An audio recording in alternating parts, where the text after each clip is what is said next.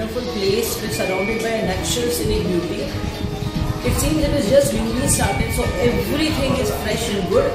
Uh, Shankar Bhai, the cook, and the two persons which are helping us are wonderful person to stay with. Three days are not enough to stay with them. So come for a longer period of time and have a wonderful time.